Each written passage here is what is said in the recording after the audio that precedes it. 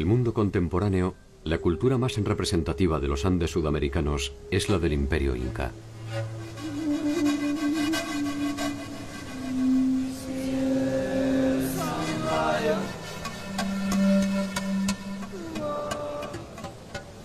Sin embargo, la historia imperial de los incas representa apenas un siglo.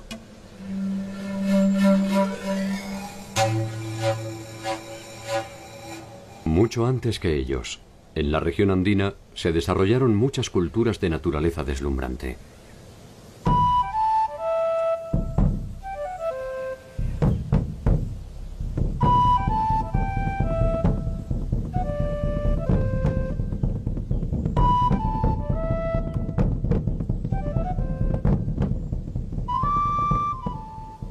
Conocer este mundo preincaico es una aventura siempre inquietante.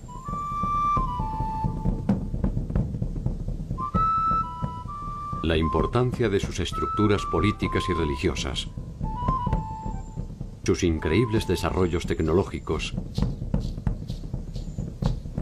y su compleja forma de asociación desembocaron irreversiblemente en el mundo de los incas.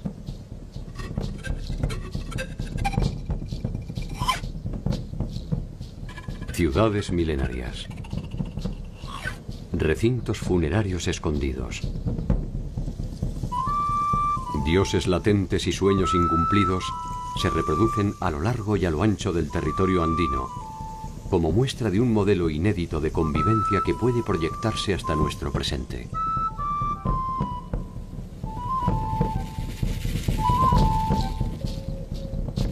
¿Quiénes fueron y cómo vivieron los pueblos que precedieron a los incas?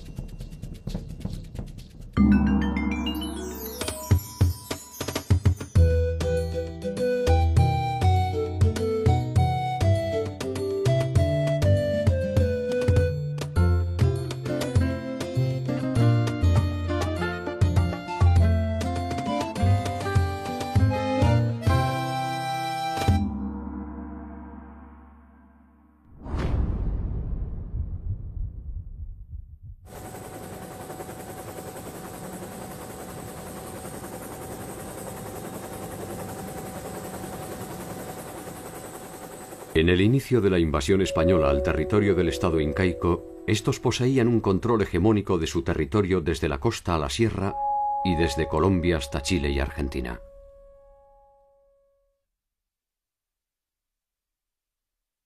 Algunos de los señoríos que los precedieron estaban bajo su órbita mediante acuerdos, y otros, sencillamente, habían sido sometidos militarmente.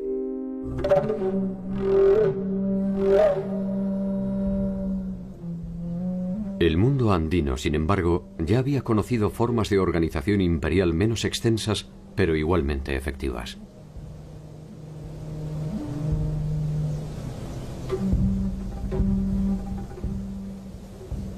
Hacia el remoto inicio de los tiempos, muchos habían intentado el sueño que coronaron los incas. Un sueño milenario iniciado en un paisaje que era apenas algo menos que un desierto hostil.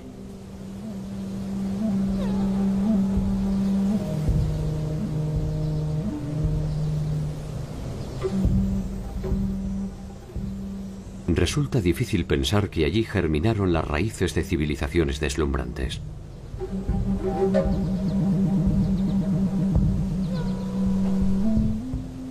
Allí nacieron los primeros dioses, las primeras leyes, los primeros desencuentros.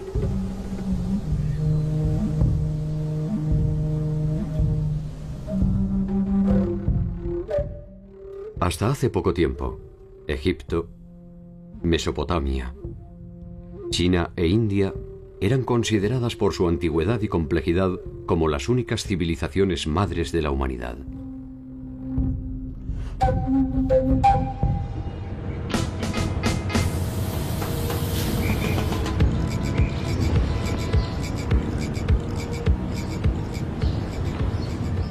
Sin embargo, más de 4.000 años antes de la fundación de Cartago, 2000 años antes del reinado de Ramsés I. Y mil años antes de Hanmurabi, existió en Perú un complejo político y cultural cuyo centro fue la ciudad sagrada de Caral.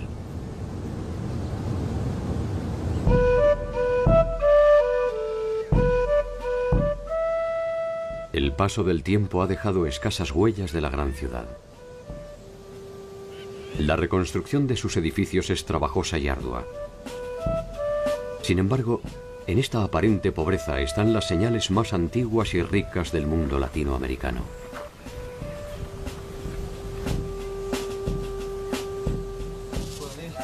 Entender qué nos dice este rastro de polvo es empezar a comprender la complejidad de nuestro tiempo.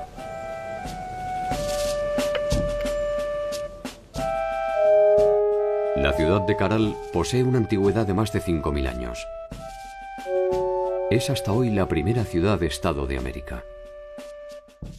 En ella se organizaron los intereses de los hombres en torno a reglas específicas y concretas de convivencia, que incluyeron el pensamiento religioso, la innovación tecnológica y científica y la estratificación social.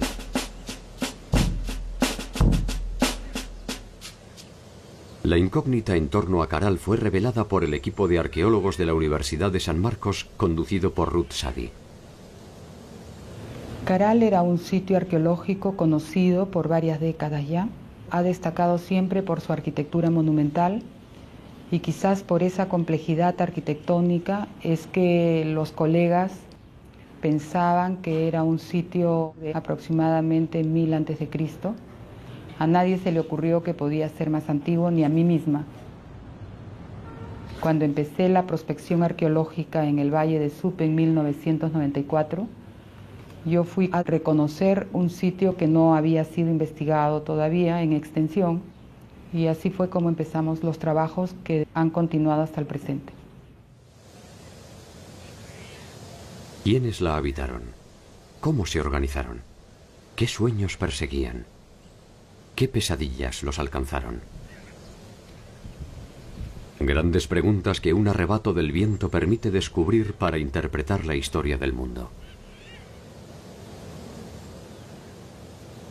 Caral representa la evidencia del fin del mundo primitivo y la consolidación de los patrones de acumulación que terminarán dividiendo a los que saben y a los que tienen de los que no. Por primera vez es un Estado porque hay un gobierno centralizado sobre un grupo social grande. Está dividido con autoridades menores, o sea, hay un sistema político que se genera por primera vez.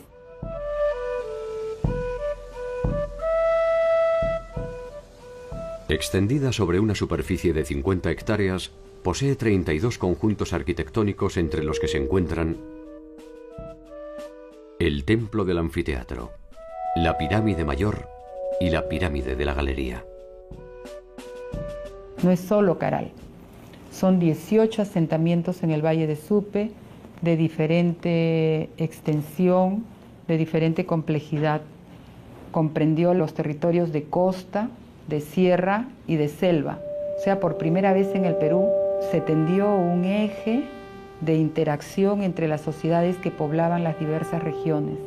De modo que tenemos productos, conocimientos y experiencias que de la selva se trasladaron a la sierra, de la sierra a la costa, y todo fue un eje que enriqueció el proceso general de esta sociedad.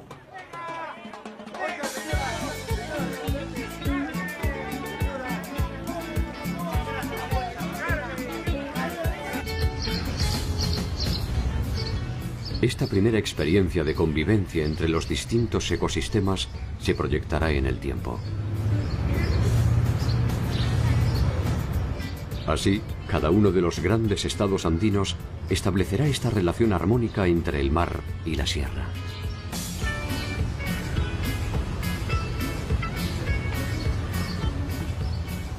La importancia que tiene el sitio arqueológico es que testimonia el proceso cultural que dio origen a la civilización más antigua de América. Y es tan antigua como los focos más antiguos identificados en el viejo continente de Mesopotamia, Egipto, India y China.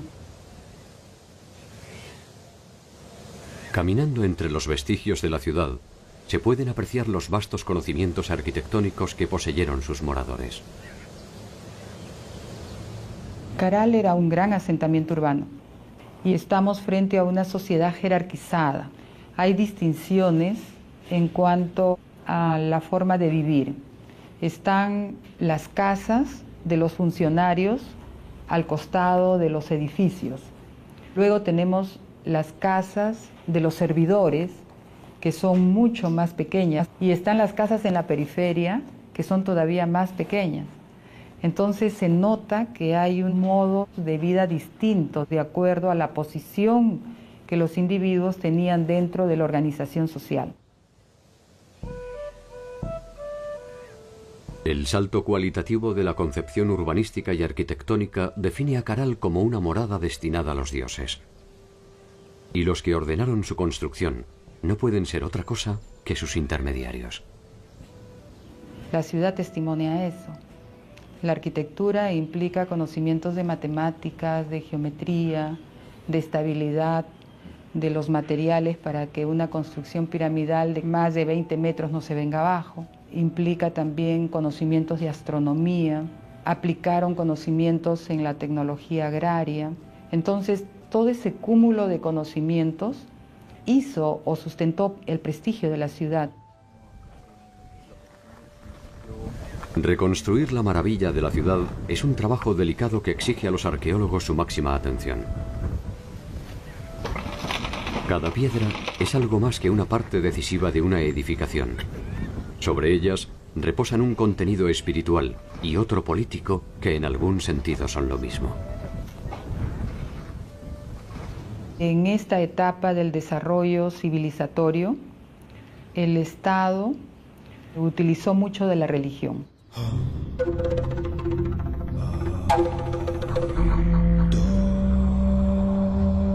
Es la religión la que sirvió para coercionar a la sociedad. Si no cumples con el trabajo que tienes que dar en tal fecha a tal Dios, entonces te va a ir mal. El miedo ha sido la herramienta sobre la cual se edificaron la mayor parte de las sociedades madres. Sin embargo, Caral ofrece una versión distintiva. La ciudad no posee indicios de presencia militar, ni siquiera de tipo defensivo. Quizás se pueda suponer que durante más de mil años un grupo humano numeroso pudo convivir en armonía sin la violencia que resulta ser el signo dominante de la historia universal. Si esto fue posible, Caral no es solo un descubrimiento también es una esperanza. El militarismo al parecer surge más adelante. En esta etapa primera del desarrollo de la sociedad, el Estado representa frente a los dioses a los hombres, sigue siendo humano. Posteriormente con el señor de Zipán el Estado o los gobernantes son divinos. De alguna manera se puede deducir que el tiempo de los dioses fue un tiempo de paz. La hora de los hombres iniciaba su cuenta regresiva. La ciudad fue la primera víctima de estos nuevos tiempos. La ciudad de Caral fue ocupada de modo ininterrumpido hasta los mil años y luego de eso la ciudad fue abandonada definitivamente. Nosotros trabajamos la hipótesis de que se formaron otros polos de desarrollo en otras partes del territorio del Perú. Otras sociedades que habían estado participando sin ser el centro empezaron a desarrollar también modelos de vida civilizada, tanto en el norte como en el sur, y generaron otros focos que incorporaron otras sociedades y eso es lo que creo yo reemplazó en prestigio a Caral progresivamente. Caral es el descubrimiento más trascendente de la arqueología reciente. Es allí donde se encuentra la matriz del mundo andino. El primer eslabón de una serie de culturas que terminarán desembocando en el célebre Estado Inca. Una cadena que exige detenernos en una serie de culturas que nos darán el ADN definitivo de un tiempo tan majestuoso como inusual.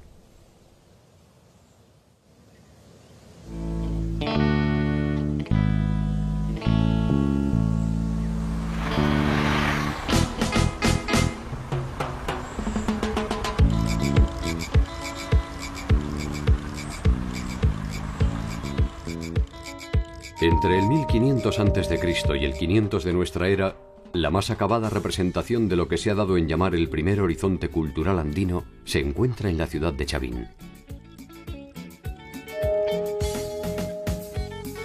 Desde la Sierra Norte del Perú en la provincia de Huari y hasta más allá del territorio actual de Ecuador, la cultura chavín estableció su área de influencia y predominio.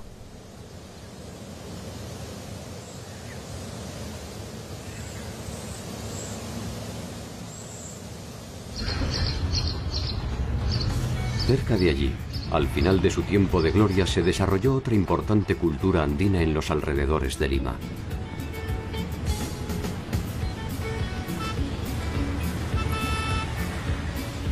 Lima es en la actualidad la capital del Perú.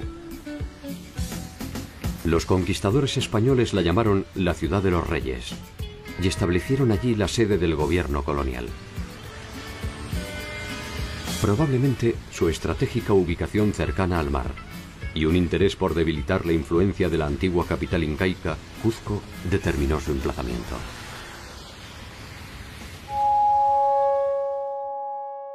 Entre el año 200 y el 700 de nuestra era, en torno a los valles limítrofes a los ríos Rimac, Chillón y Lurín, se desarrolló la cultura lima.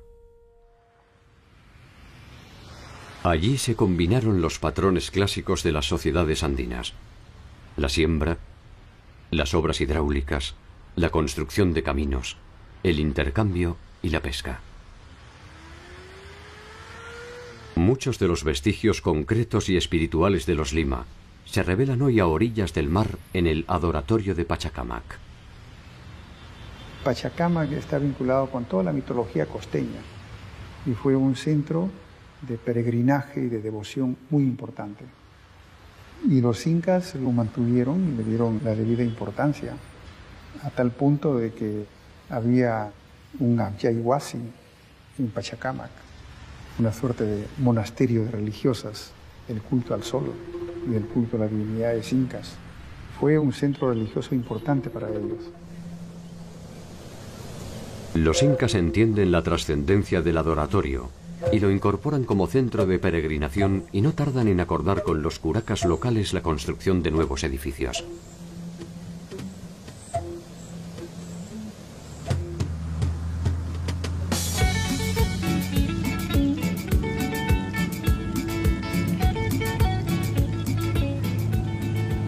Una estrategia similar realizaron los incas cuando procedieron a la conquista del pueblo aymara en las inmediaciones del lago Titicaca. Para aquel entonces, el majestuoso centro ceremonial del Tiwanaku había sido abandonado.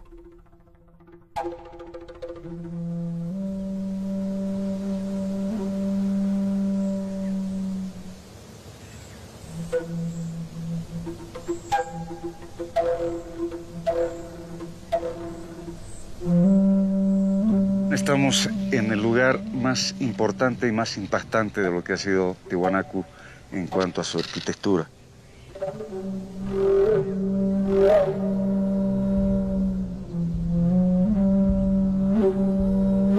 Tiwanaku es un conjunto de pueblos, un conjunto de grupos étnicos. En Tiwanaku se hablaba el quechua, se hablaba el aymara, se hablaba el puquina, se hablaba eh, el, chipaya, en fin, había una enorme cantidad de lenguas, así como pueblos. El lago Titicaca, ubicado a 3.850 metros sobre el nivel del mar, no era solamente un accidente geográfico. Era el símbolo de un imperio milenario en el que se sentaron las bases de la organización andina.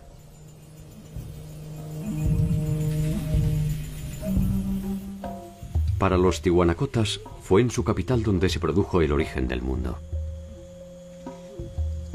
El dios creador, Viracocha, emergió de las aguas del lago Titicaca y fue el quien colocó al sol, la luna y las estrellas en el cielo y quien envió a sus auxiliares a crear los animales y las plantas. Fue él quien talló en piedra a los hombres, les dio vida y los entregó al mundo.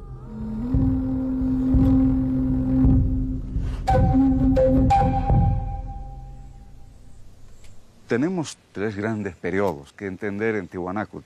El periodo aldeano, que se inicia aproximadamente hacia el año 1500, 1600 antes de Cristo. Este periodo aldeano va a perdurar hasta principios de nuestra era. A partir de principios de nuestra era, gracias a la consolidación del territorio, el aumento de la población, la diversificación en la producción, los nuevos sistemas agrícolas que se van eh, realizando en Tiwanaku, el intercambio de productos, los excedentes, en fin, Tiwanaku se transforma en un estado. Es la época de las grandes construcciones, es la época donde hay ese predominio religioso.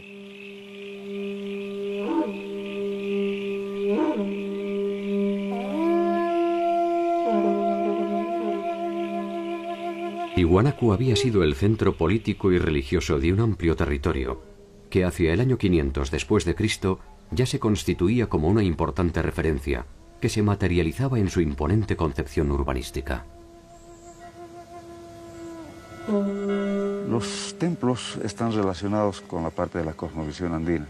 Muchos de ellos están jugando un papel eh, relacionado con lo que son sus cultos, sus dioses y sobre todo vamos a ver eh, la importancia que tiene la astronomía en cada uno de estos templos, convirtiéndose en verdaderos calendarios que les están dando las fechas para las fiestas como para también la época de la siembra, las pirámides, las construcciones elevadas que están relacionadas al sol, la luna, las estrellas, los astros, también están los dioses del Acapacha, lo que son las construcciones al nivel del suelo, de piso, como la Calasasaya, y finalmente los templetes subterráneos, que están más vinculados a las divinidades de la fertilidad, la fecundidad. El templete semisubterráneo posee una planta cuadrangular delimitada con muros de arenisca roja que fueron sostenidos mediante 57 pilares. Sobre sus paredes se encuentran 157 cabezas enclavadas que representan una diversidad de etnias que resulta decididamente desconcertante.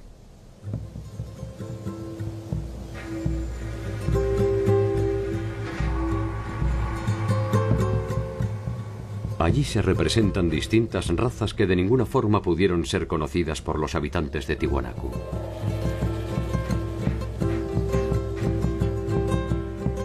Muchas son las hipótesis a propósito de su significación. Para algunos representan la morfología de los diversos pueblos sometidos por el imperio Tiwanaku. Para otros, se trata de un ensayo de Viracocha para la creación de la pareja original que poblaría el mundo.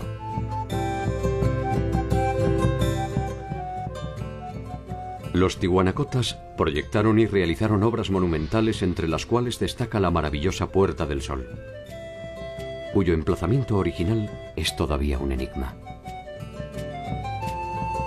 La Puerta del Sol nos está mostrando un complejo calendario, un calendario de carácter solar, lunar y a la vez agrícola.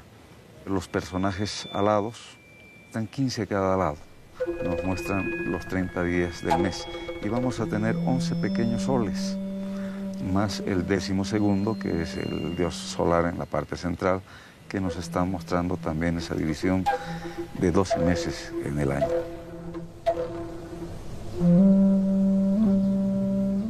A mil metros del lugar se encuentra el área del Pumapunku, cuya estructura inicial fue elegida por los incas para sus ceremonias, banquetes y celebraciones.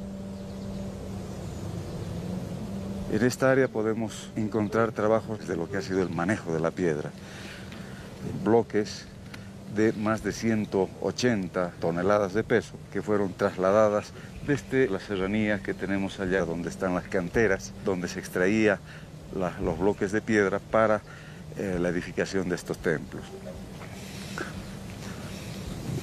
Uno de los mayores bloques justamente es esta plataforma que tiene un peso de 185 toneladas, que eran parte del templo, el magnífico templo que se encontraba justamente hacia la salida. Al fondo se puede apreciar la montaña de Illimani, está justamente hacia lo que es uno de los principales achachilas, uno de los principales apus protectores de este sitio.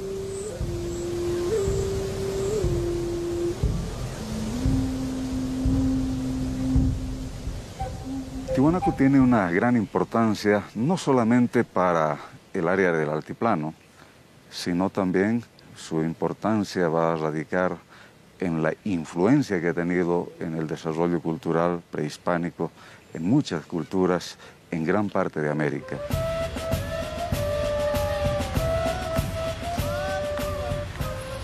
El pueblo aymara es hoy una de las comunidades más representativas de ese pasado, y la mayor parte de la población actual de Bolivia es descendiente directa de esta etnia. La impronta de su cultura definió las relaciones que se repetirían en los distintos pueblos andinos hasta la llegada de la invasión europea. Una de estas bases fue sin duda la tecnología alimentaria.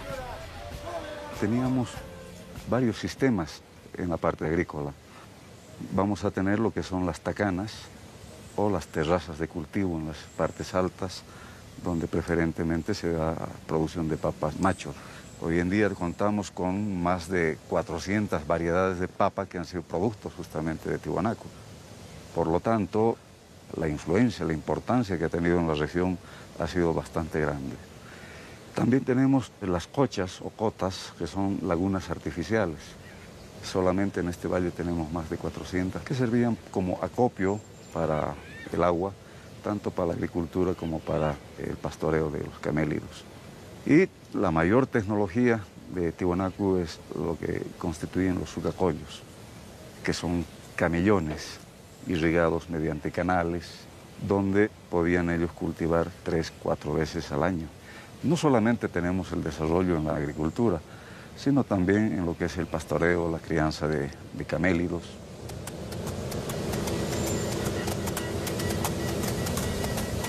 Gracias a ellos se tornó industrial la producción de carne desecada, conocida como charqui. Esta innovación tecnológica permitió la intensificación de los intercambios. Su prosperidad no tardó en producir la necesidad de expansión territorial en busca de espacio para la agricultura.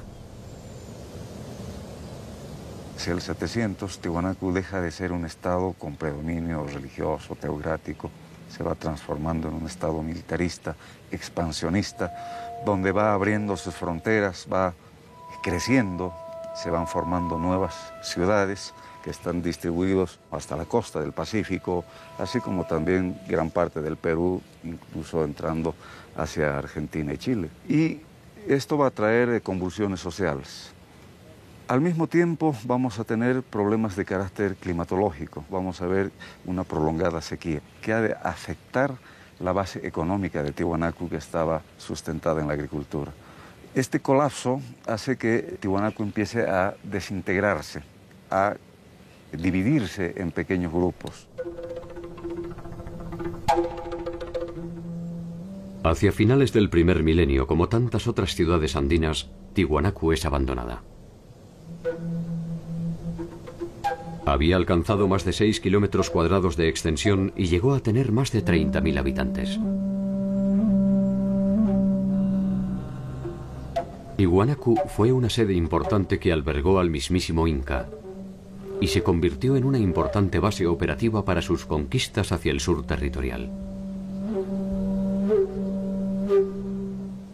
Tiwanaku fue un centro productor de conocimientos y espiritualidad.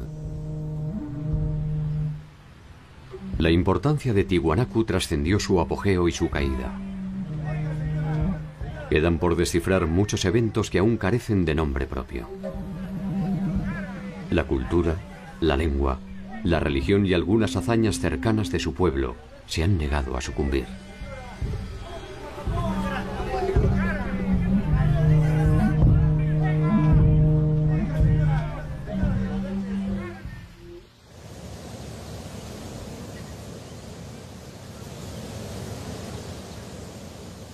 Según la leyenda, la ciudad de Chanchan fue fundada por un mítico líder que habría llegado del mar.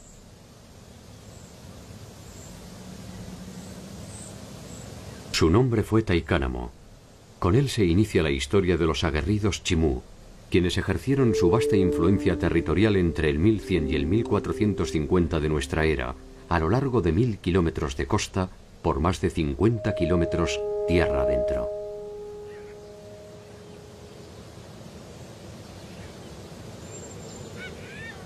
En Chanchan llegaron a vivir más de 50.000 habitantes, y la armónica y serena belleza de la ciudad con sus trabajados muros de barro, está aún en pie. Los chimús protegieron específicamente sus conquistas agrarias y no dudaron en ejercer su poderío militar para asegurarse el control de los cauces de agua que garantizaban la siembra.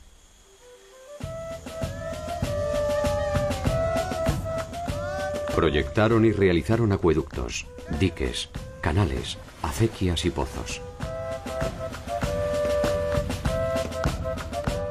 Combinaron el cultivo del maíz, maní, ají, algodón y palta.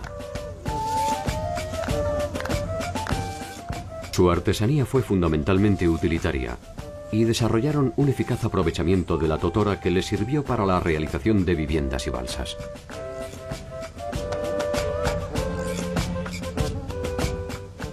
Su tecnología marítima es visible aún en muchos pueblos de pescadores.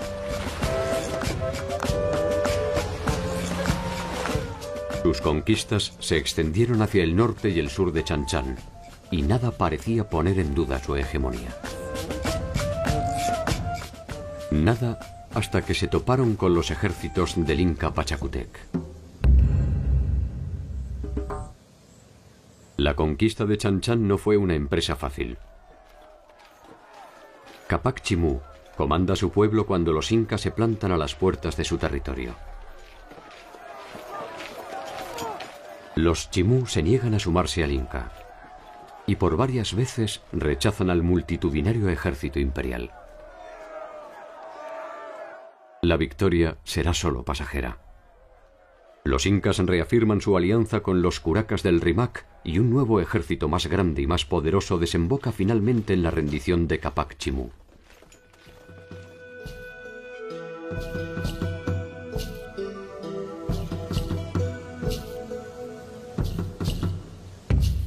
Sus líderes son desterrados y sus tierras se reparten entre los aliados incas.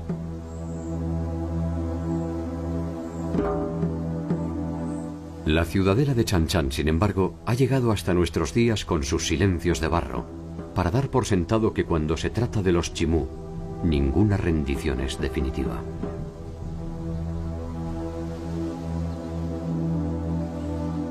El control territorial y espiritual del mundo andino se mantuvo por más de 5.000 años asentado en diferentes pueblos.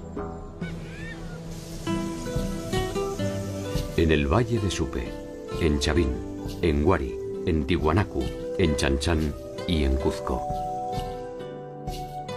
Su organización estatal fue evolucionando hacia formas cada vez más complejas que sin embargo no abandonan los principios fundamentales que le dan cohesión. Cuanto más tiempo pasa, más andinos son.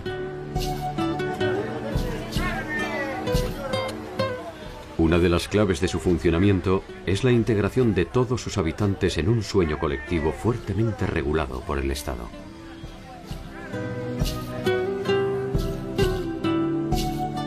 Uno de esos sueños entre el año 100 y el 600 después de Cristo se manifestó en una compleja y elevada organización sociopolítica identificada como cultura moche o mochica.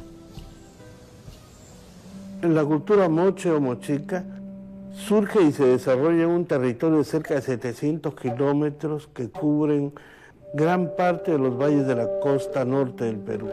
Eh, los mochicas comienzan a surgir aproximadamente en los primeros años de la era cristiana y terminan, suponemos, alrededor del siglo VI o VII de nuestra era.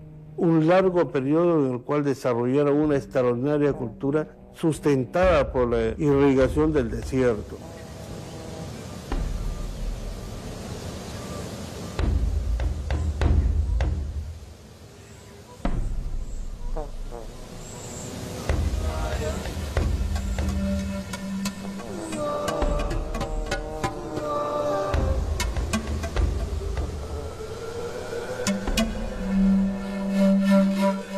conquista fue una de las formas mediante la cual se obtuvieron tierras, sirvientes, esclavos y riqueza. Pero sería a partir de su producción artística donde los mochicas obtendrían la eternidad que no le aseguraron las armas.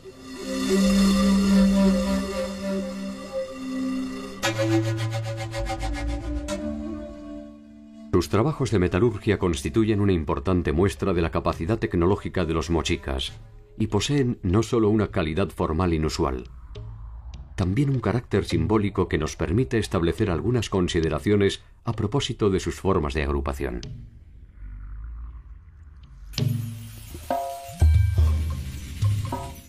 La presencia de una fuerte ornamentación en la representación de sus señores es el indicio de una sociedad jerarquizada que monopoliza no solo las decisiones políticas y militares. Es también la base desde la cual puede presumirse el carácter sagrado de sus gobernantes. El oro como metal sabemos que no tenía ningún valor comercial. El oro estaba reservado exclusivamente para los ornamentos de los soberanos. Cuando muere un personaje importante que tiene algún adorno de oro, se va con él a la tumba porque nadie puede usarlo. El concepto de uso de cualquier vestimenta, de cualquier atuendo, está muy asociado a las personas. Y además estos ornamentos debían acompañarlo para la vida en el inframundo, donde tenía que seguir ejerciendo sus mismos roles y sus mismas funciones.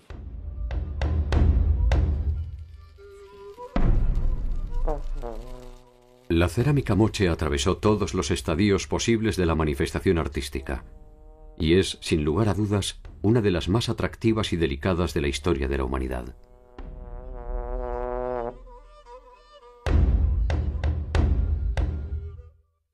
desde los motivos abstractos primitivos hasta sus sofisticadas secuencias narrativas. Desde sus temáticas bélicas hasta las eróticas, en cada uno de los casos puede verse la cualidad de sus artesanos y la afirmación y personalidad de una cultura.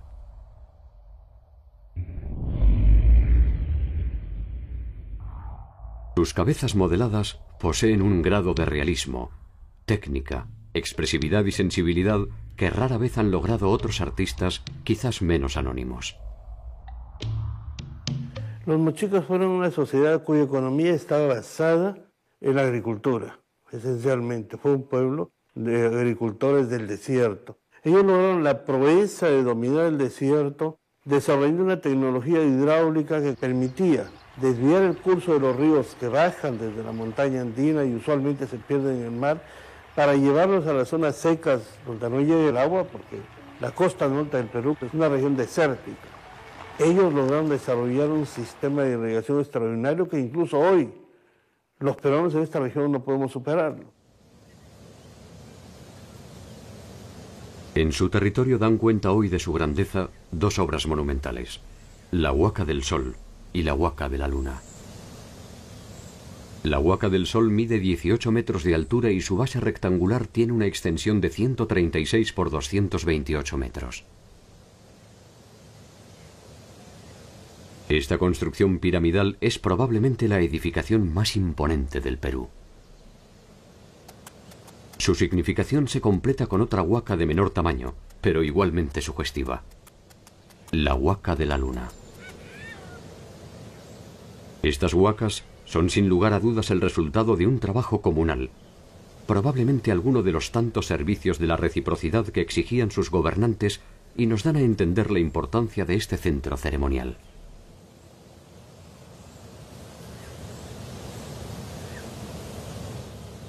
Muchos de los misterios de esta cultura guerrera han comenzado a revelarse a partir de un descubrimiento sorprendente.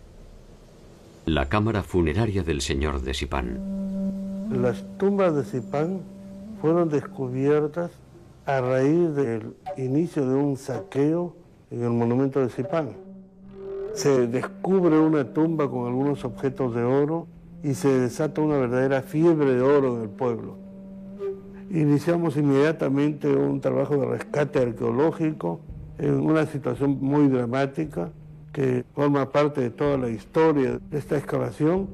Logramos detener el saqueo en el año 87 iniciamos el trabajo de excavación que nos condujo algunas semanas más tarde a uno de los descubrimientos arqueológicos más importantes del antiguo Perú, la tumba del señor de Zipán. Lo importante de este descubrimiento es que por primera vez se logra presentar al mundo la tumba intacta, excavada científicamente de un soberano del antiguo Perú. Este sepulcro ofreció una serie de revelaciones que permitieron establecer un cuadro más acabado de la organización mochica a partir de la riqueza de sus múltiples significados. Cuando encontramos la tumba de este personaje, nos dimos cuenta inmediatamente por la variedad y por la forma de los atuendos, los emblemas, que estamos frente a uno de los hombres más importantes de su tiempo. Usualmente los arqueólogos tenemos una nomenclatura muy típica para esas tumbas, tumba 1, tumba 2. Nosotros fuimos un poco a la idea de no solamente rescatar objetos arqueológicos, sino también la presencia humana y el espíritu de un pueblo. No podíamos llamarles tumba 1 y lógicamente no sabíamos el nombre verdadero de este personaje. Pero reflexionando sobre las características de la organización mochica como señorío y el nombre del pueblo de Zipán, lo llamamos la tumba del señor de Zipán.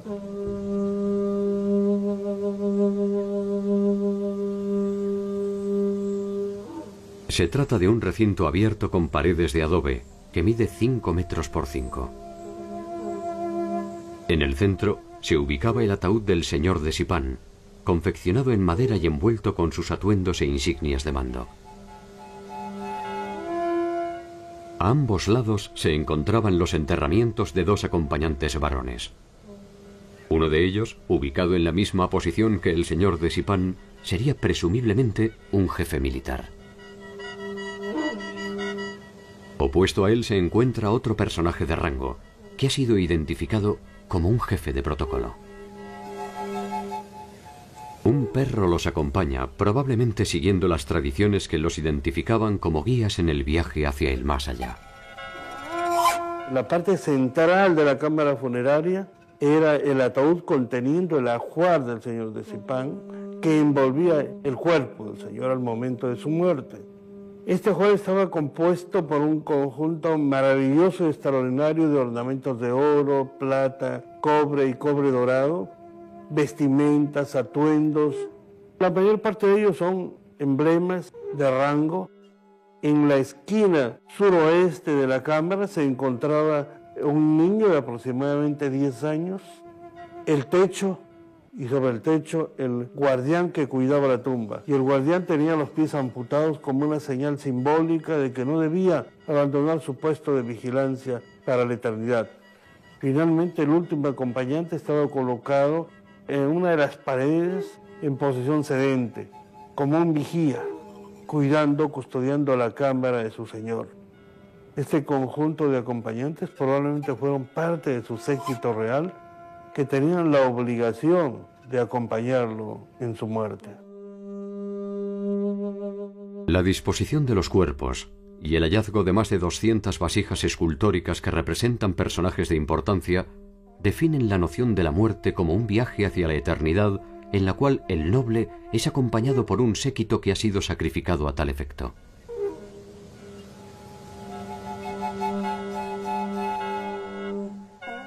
Los expertos han determinado, pese al delicado estado de sus restos, que su edad oscilaría entre los 45 y 55 años. Probablemente haya sufrido una incipiente artrosis en su columna vertebral. Los estudios no pueden determinar la causa de su muerte, pero se ha descartado que ésta se haya producido de forma violenta. En Zipán se han registrado un total de 13 tumbas que pertenecen a diversas épocas y a la compleja jerarquía de los gobernantes mochicas.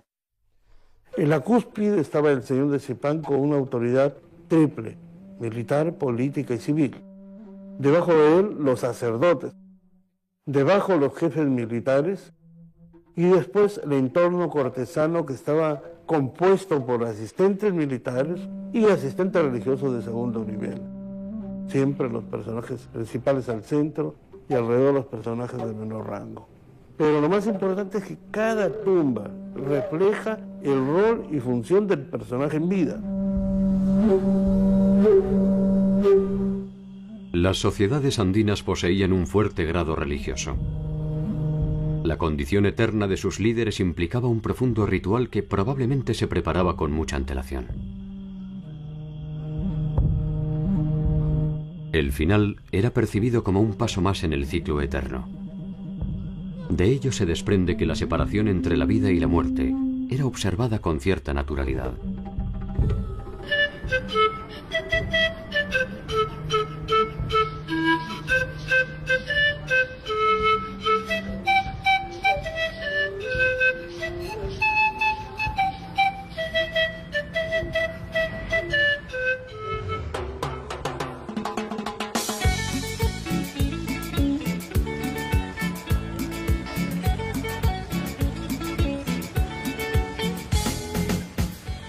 La vida y la muerte. Los dioses y los hombres. La siembra y la cosecha. La dualidad del ser andino permite explicar el mundo mediante opuestos que forman una sola entidad. La maravilla de los Andes no reside en los extraordinarios conocimientos de navegación de los chinchas, ni en las deslumbrantes huacas del sol y de la luna tampoco en la religiosidad de los pueblos del Valle de Lima, ni en las increíbles obras de ingeniería hidráulica de los nazcas. La maravilla de los Andes debería buscarse en la capacidad para preservar su espacio vital y su subsistencia más allá de cruentos enfrentamientos y profundos procesos de cambio.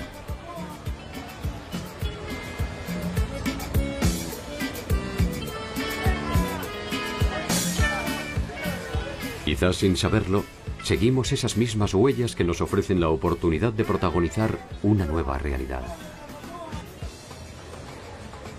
Como aquellos hombres se avanza buscando las mismas sensaciones. Seguridad, progreso, estabilidad, bienestar. Un equilibrio complejo que conlleva vivir constantemente sobre el filo del bien y del mal.